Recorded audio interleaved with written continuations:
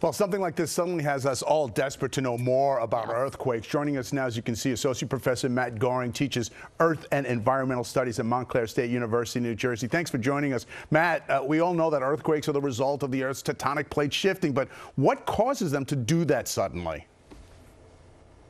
Well, we don't really know exactly, um, but the uh, the short of it is that you know there's a little bit of slip on the fault lines, and you get uh, energy that's transmitted as seismic waves through the earth, and that's what an earthquake is. Um, so doesn't happen very often in New Jersey, and uh, but this is a pretty big earthquake to happen in this area. Talk a little bit about that. Talk about how rare today's event was. It really was shocking for the vast majority of people from Philadelphia all the way up to Maine. We're just not used to this. Yeah. absolutely. I mean, we usually we do get occasionally earthquakes of magnitude two, maybe a three, but 4.8 is something that uh, hasn't happened in probably 200 years or 100 years. And so this is definitely a rare event, and we wouldn't be expecting to have magnitude 5 or 4.8 uh, magnitude earthquakes, you know, uh, on a regular basis.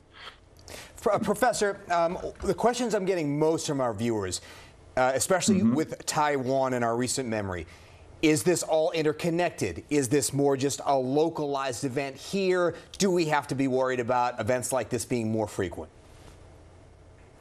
No, this is, you know, these fault lines uh, here in this area are not connected to anything uh, related to Taiwan. That's a totally different uh, tectonic area.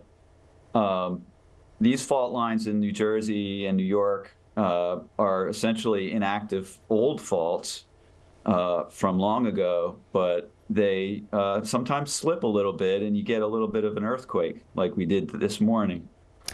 You know, Professor, you know, anecdotally, we always hear about pets uh, reacting in advance to some of these things. But you know, is there any real way, has science really got to the point where we can predict when an earthquake is about to happen?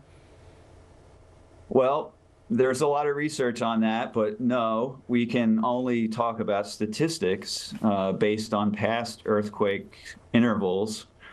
Uh, so the prediction is is not really uh, at the level of, let's say, a volcanic eruption.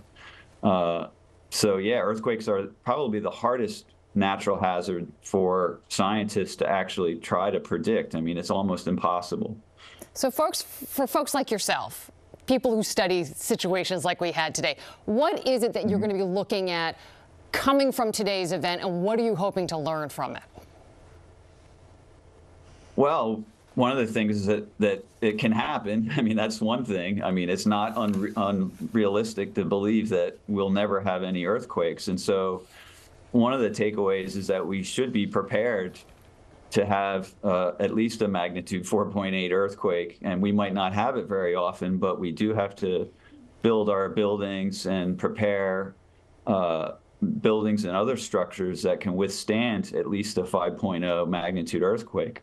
Well, Matt, thank you so much. A lot of really interesting stuff brought up in that discussion. Uh, Associate Professor Matt Gorring from Montclair State University. Again, thanks for joining us. And we invite you at home to stay with Eyewitness News as our coverage continues on this earthquake.